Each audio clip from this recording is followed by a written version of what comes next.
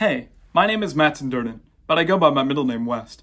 I'm a political science major with a minor in history. I want to focus my studies in political theory so that I might one day apply it in government. My love and admiration for politics and ethics has motivated me to take AP and dual enrollment history and social classes, captain my school's academic team, and to start the classical club at my school, where we talk about classical history and the arts. Another large aspect of politics is public speaking. To better prepare for this, I lead in my school's drama productions and speech programs. I am burdened to leave impacts on other people's lives through relationships and the government. In my community, I serve as a group leader where I help younger students grow spiritually. Further, I volunteer at my church to help spread the message of the gospel. Hoping to solve federal problems like the national debt, I seek to be elected as a member of the House of Representatives to solve the many problems that America faces together as a country.